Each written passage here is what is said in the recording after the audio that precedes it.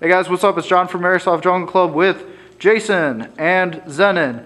And today we are doing another Mythbusters. We're seeing if you can reuse a Thunder B shell with a little, what is that, epoxy and No, a... it's actually hot glue and a cheap plastic, you know, water bottle. Like, you Okay. know, you get a case of water. So we'll see if it holds up, if it blows up. All right, frag out. That worked really well. That worked incredibly well for hot glue in a water bottle. And cost probably about uh, 10 cents. And as you can see, guys, from the shell, you just peel the hot glue off. It's not too hard.